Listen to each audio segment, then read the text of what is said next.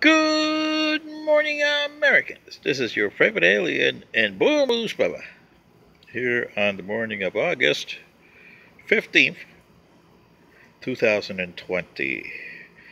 Well, I got a lot of answers yesterday. I did a video yesterday trying to explain uh, to Dr. Fauci what's going on. So I'll do another video to explain to you how we look at you. You know, Americans, you're supposed to be the top dog on this planet.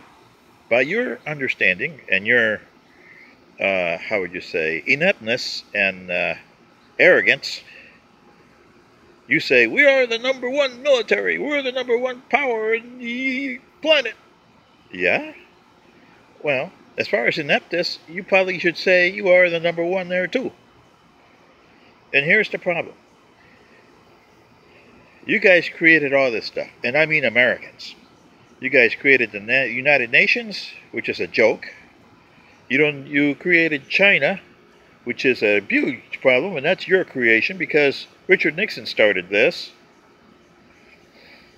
You guys created the problem of COVID-19 because you guys wanted globalization, and you didn't understand, let alone comprehend, what the word globalization meant, and you still don't even today. Now, you got to mitigate this virus. You can't say zero. Once you put it out, it's like Pandora's box. You can't put it in the box.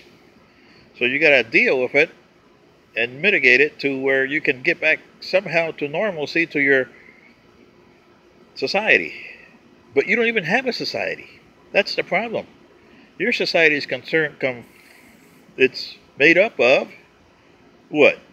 Accumulation of wealth. Step on the poor.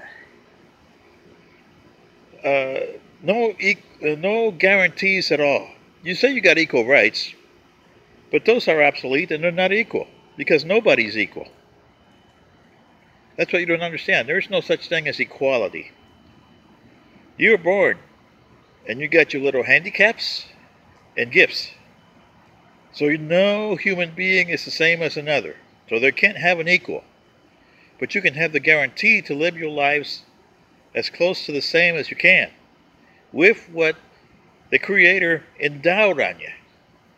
Yes, where I come from, we believe in a supreme being. But do we go there, oh, well, we got to build churches to it. We got to do this. We got to say this is what he wants. Because nobody in hell knows what the supreme being ever wants. He's not even around. You can search the whole universe and never find him. And this is the problem with you humans, especially Americans. Look at all this, the factions you created here in your religion alone. You got so many factions, and then you got the Republicans and Democrats who have so many factions in the political system, which should be disallowed. We got rid of that centuries ago. We got rid of religion, politics, greed, do we still have problems? Oh, yeah. But put it this way for every 100,000 murders in your planet here, we got one. Every year, you have over 100,000 murders in your planet. And there's been years in our planet and our entire federation where we had zero. That includes humanoids and other races in our federation.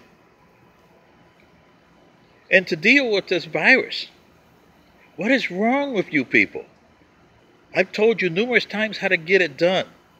But there's no money to be made in there. We'll just wait and see how the, uh, the vaccine comes around. Did Dr. Gorgas wait for a vaccine in Panama? Or you guys, Americans, wouldn't have built the Panama Canal. The vaccine wasn't done until 1930, and it doesn't work 100%. There's no vaccine that's going to work 100%. And you're right now over 170,000 dead in this country alone. You're over five and a half million infected. You keep this up, you'll be over 220 million and 155 million dead because of your hand. So what are you going to do, Americans? Sit on your duffs? Or are you going to tell your government, let's get up our duffs and do something? This is your favorite alien, and bye-bye. Good day.